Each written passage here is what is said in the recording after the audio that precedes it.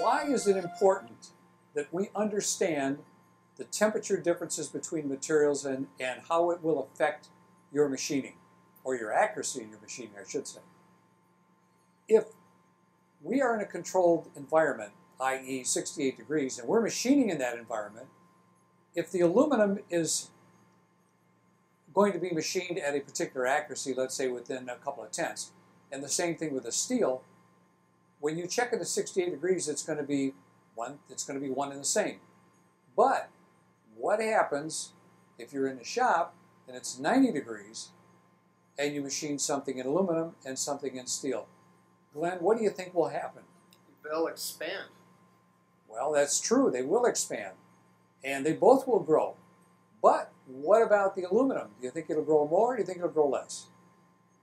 I would think it would grow more. Absolutely right. For a, for, I'll tell you what, for a cameraman, you're, turning into a mechanic, bud. I'm learning. Um, you are learning. So the aluminum is going to grow more.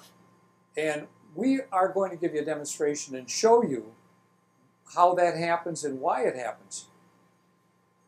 The purpose of this, again, is for you to keep this in mind that if you're machining to close accuracies uh, in a different climate, in a different temperature, where one room is hot, one room is cold, you're going to get different measurements.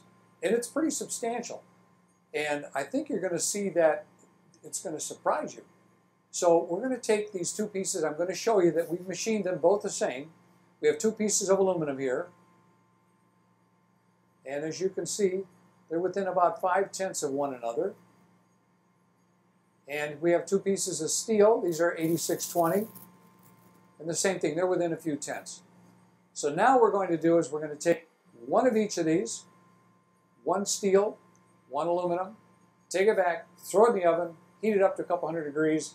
We're going to bring it back in here and we're going to re-inspect it and show you how they grow differently. They're both going to grow, we know that. But one will grow more than the other. So let's take them back in the oven, pop them in there, and bring them back here. All right, so we've taken these out of the oven and we found that they have really grown a lot, but we've had to change our indicator range to accommodate it because of the growth. So our new zero is over here at the 5, which means it's 5 thousandths. That's our zero.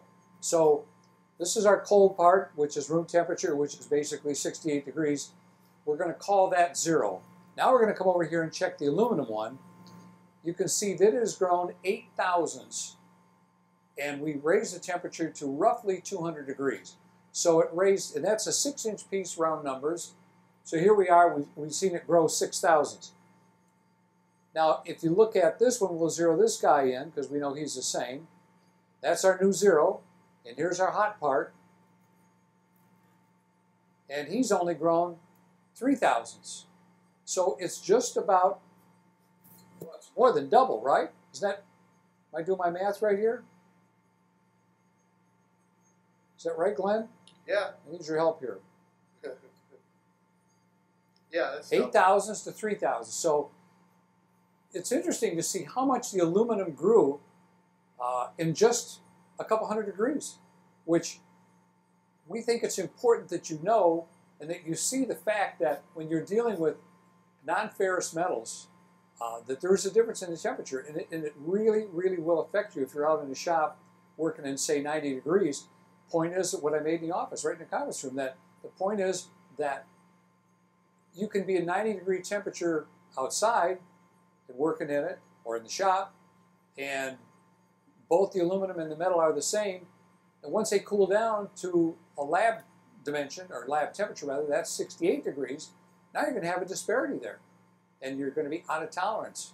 So it's important that that's why we have uh, temperature control rooms, and that's why it's important that you understand how the temperature affects aluminum, steel, brass, bronze, all these ferrous, non-ferrous material, even cast iron.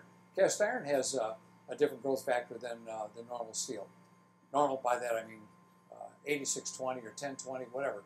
So anyway, that's it. We just showed you the proof, living proof that those are the conditions, and that's what happens with different temperatures. So thanks for watching.